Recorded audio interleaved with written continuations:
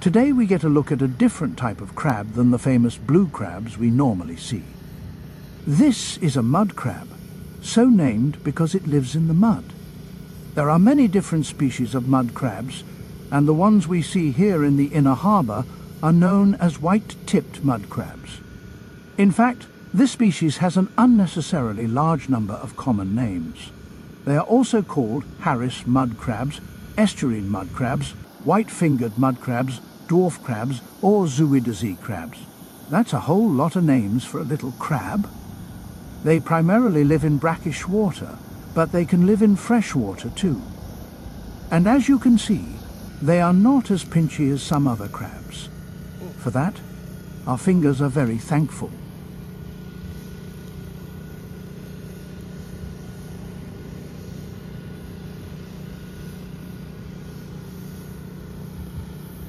These crabs are omnivorous, eating both plant and animal matter.